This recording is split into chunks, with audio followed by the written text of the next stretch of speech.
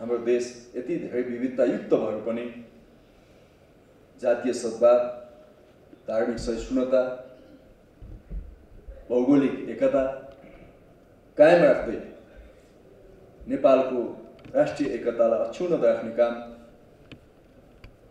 नेपाली जनसमुदायले गर्दै आएको छ। र हाम्रो साहित्यहरू पनि हाम्रा सृजनात्मक कलाहरूले पनि नेपालको यही यथार्थलाई प्रतित्व गर्दै आएका छन्। यहाँहरू जस्तो विद्वान प्राज्ञहरूले समाजलाई जहिले पनि सही बाटो देखाउनु पर्छ भन्ने मलाई लाग्छ। पक्कै पनि मान्छे आलोचनात्मक चेतको हुन्छ। त्यसलाई हामीले सम्मान गर्नुपर्छ।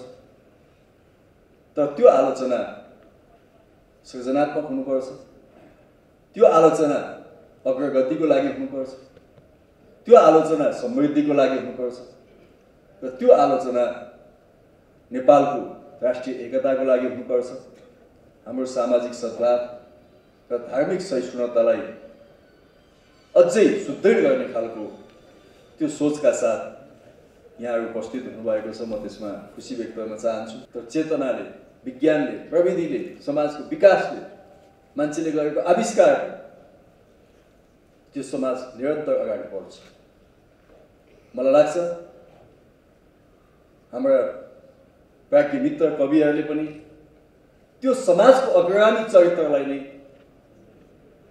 यहाँहरूले बोक्नु भएको होला भन्ने म ठान्छु। तब मात्रै हामी समाजका सही स्रष्टा हुन सक्छौँ।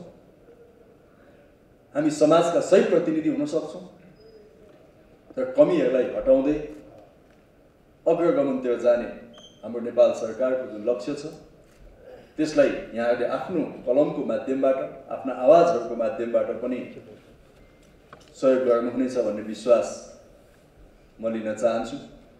पक्कै पनि यहाँका कविताहरूमा हाम्रो देशको यो यथार्थताको वर्णन होला।